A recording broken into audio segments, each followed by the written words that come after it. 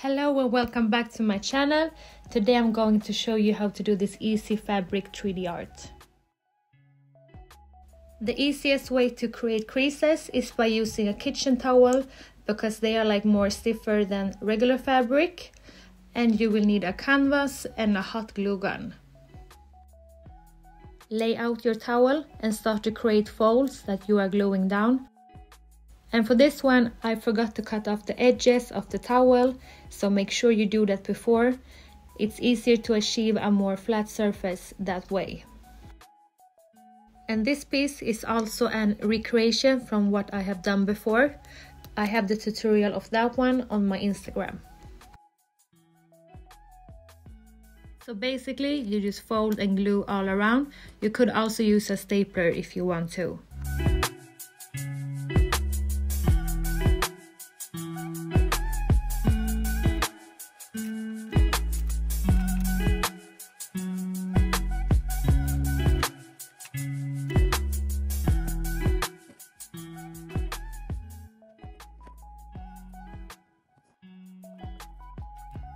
And when I made this one before, I got so many questions about how I made all the waves and the creases. And as you can see, it kind of folds itself, so it isn't hard to achieve at all.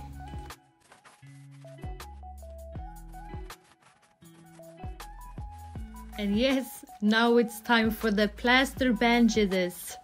You guys know I can't pronounce that one. but we're going to cover up the backside with it.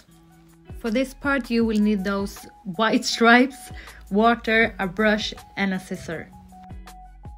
I always cut them in smaller parts for more control when applying them.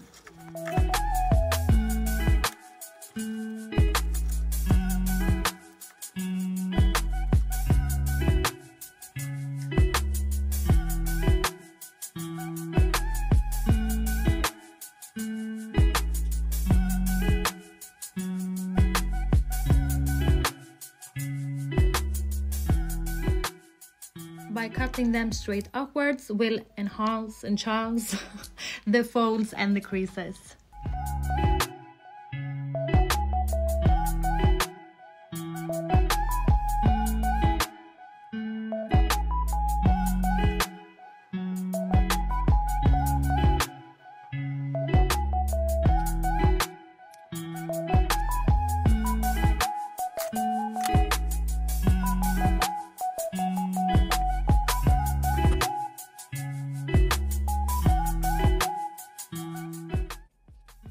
Now it's the next day and we are ready for the front side.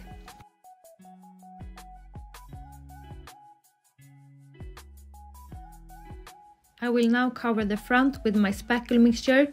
I have a tutorial on how I mix it on my Instagram and I have recorded one for my YouTube that I will upload soon. Since I want the fabric to really soak up this first layer, I'm mixing more water for a thinner mixture.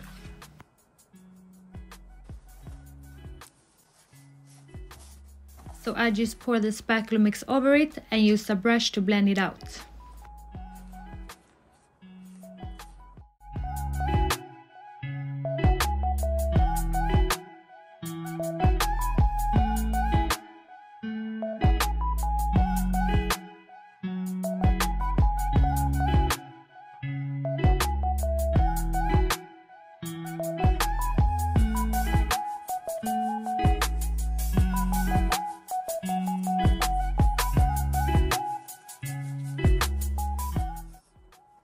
We are now going to shape it into our design. And this is kind of the hardest part because it's so hard to stop and know where to stop. But just be creative with it and do as you prefer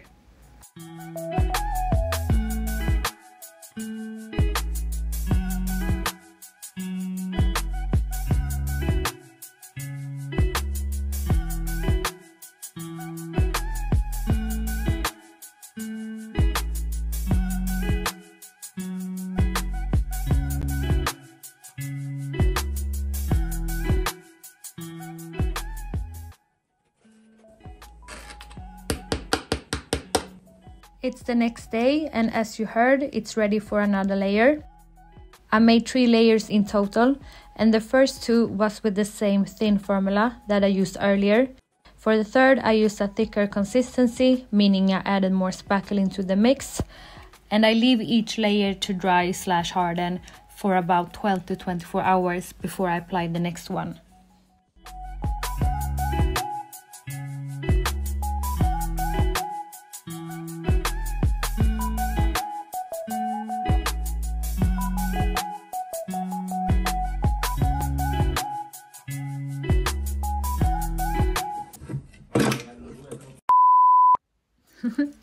And for the last and thicker layer, I usually use like slab on the mix and then feathering it out with the brush and water to create this smoother surface because I don't want to spend that much time and effort to sanding this one. And this is me telling my future voiceover me that I will continue to do this all over. I slightly polished the back and the front side just because I'm a control freak, but for the front I actually timed myself, so only 2.5 minutes per side slash angle. Because I know I can really go overboard with this and spend like hours sanding slash polishing a piece, but this one has too many creases and I have to uh, restrain myself.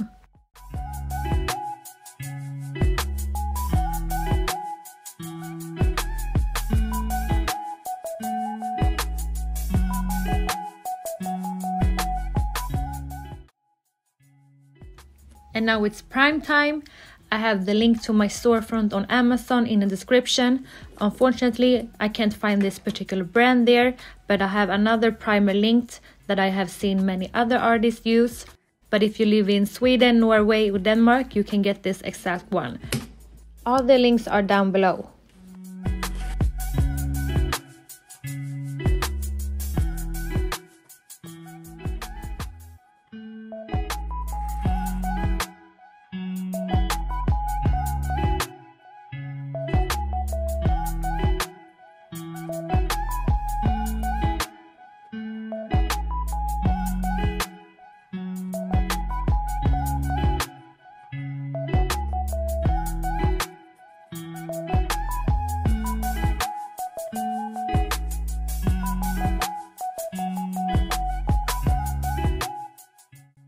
For the first time I tried using spray paint and I actually really enjoyed it.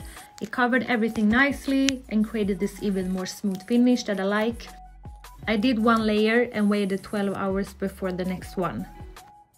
I also tried this spray matte finish. With this one I should have done two thin layers rather than just hammered it at once.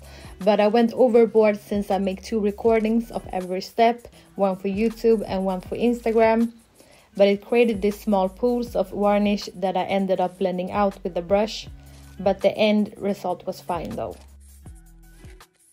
And here it is.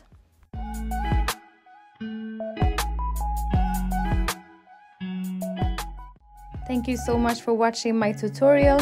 Please like and subscribe and check out my other social media platforms. And yeah, thank you so much.